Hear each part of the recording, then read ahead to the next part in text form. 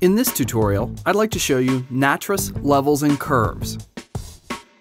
These effects will enhance your color correction with the addition of easy-to-use curves.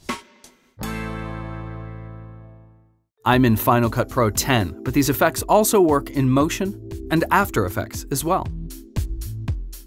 I have two clips on my timeline. The first was shot with a DSLR, and it's standard practice to shoot with a low contrast setting on the DSLRs so as not to lose picture information, and then add contrast and saturation back in post. If I look at my first clip in the waveform monitor, you can see that it's pretty flat and could use some more contrast. I'll drop the Curves plugin on it. What appears is a diagonal line that will help us see the curve as we make adjustments.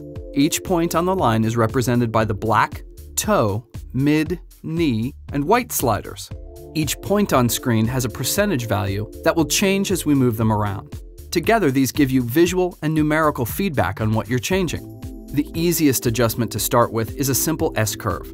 I'll click the On-Screen Presets dropdown and choose the S-curve preset for a good starting point. I'll make some tweaks to the preset to taste, while keeping an eye on my waveform monitor during any of these adjustments so I don't overdo it.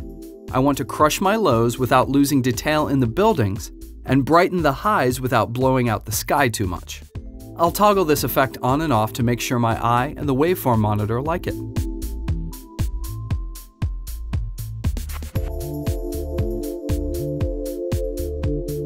Lastly, I'll click the Show Curves on-screen button to get rid of the visual curve on the footage.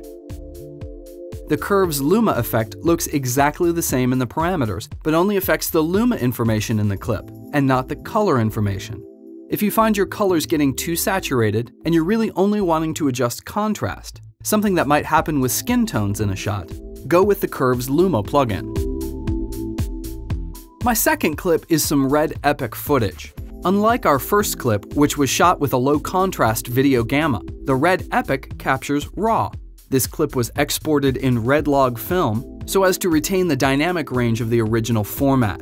Redlog film adheres to the Cineon film log spec, so it's easily gradable and looks great in practically any grading application.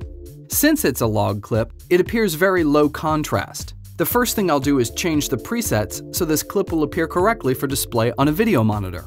For log mode, I'll choose log to video then curves, and the log to video curve will stay set to log Cineon to video. I'll create my S curve to improve the contrast of this shot.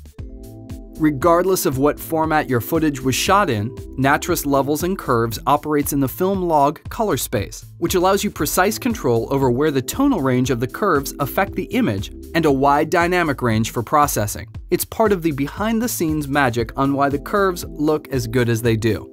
FX Factory offers a huge selection of great plugins. And if you don't have them yet, I suggest you go try them out at noiseindustries.com.